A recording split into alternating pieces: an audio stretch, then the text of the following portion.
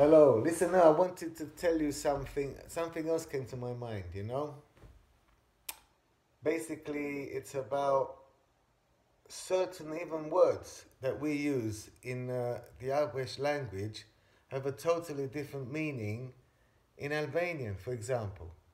Like in the past, Arbëresh, which mainly used to speak Italian, and uh, even today, I mean, they're Italian, and they never really uh, revealed their identity to Italians. So if the Arbëreshs were in uh, New York in you know in the beginning of the 1900s or even in Italy in the big cities, no one knew they were Arbëreshs because they just spoke Italian and acted like I mean they were Italian, and you can't tell the difference between an Arbëresh of southern Italy and an Italian. You, you wouldn't tell the difference. There is no difference. And unless he tells you I'm Arbëresh, you don't know. So when Arbëresh used to meet each other, and an Arbëresh found out he's also Arbëresh, Albanian, they would say Jakuis Prishu. Jakuis Prishu, which Albanians don't even understand what it means. Because obviously the Albanian of today is standardized and the, the way the Arbëresh spoke with their limited vocabulary, which is true, don't lie, man. Um, they spoke dialect form of today's Albanian. And Jakuis Prishu uh, uh, basically has to do with our blood is everywhere. Our blood is scattered, scattered. You understand?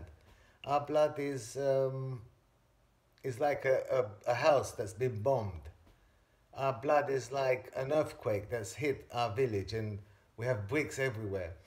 So when Albanians, uh, when Albanians used to meet, they used to say, "Our blood meets again. Our blood is everywhere, but will always find itself.